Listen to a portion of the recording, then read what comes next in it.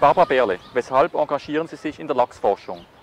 Der Lachs ist ein unglaublich faszinierendes Tier. Er wächst im Süßwasser auf, wandert dann ins Meer und kommt im Normalfall eigentlich wieder genau den Ort zurück, wo er aufgewachsen ist. Sie züchten in der Petite Camargue Alsacienne in Saint-Louis Lachse und lassen sie in der Schweiz frei. Welche konkreten Ziele verfolgen Sie mit Ihrem Projekt? Es ist ganz klar, dass die Lachse wieder im Rhein heimisch werden, im Oberrhein vor allem auch.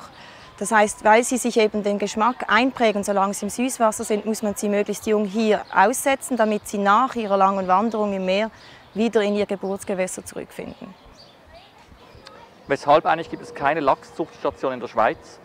Es gab ganz ursprünglich eine an der Wiese, die wurde dann in die Kaserne verlegt und musste dann aber weiter in die Petite Camargue zügeln, also im Elsass, weil wir in der Region Basel keine Möglichkeit hatten, die Lachse zu halten.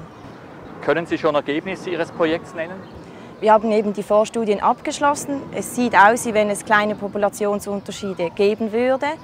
Ähm, wir hoffen aber, dass wir bis zum Ende der Zusammenarbeit mit dem Zoo spruchreife Resultate haben werden.